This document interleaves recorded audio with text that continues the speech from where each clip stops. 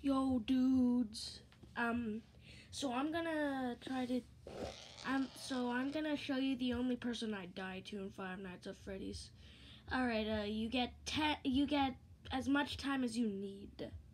So try to answer it in the comments, and don't try to cheat, please. I'll give you a hint. He's in Five Nights at Freddy's 1.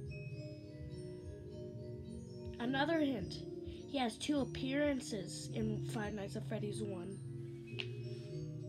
Well, they're different. They're called different names, but they're still the same person.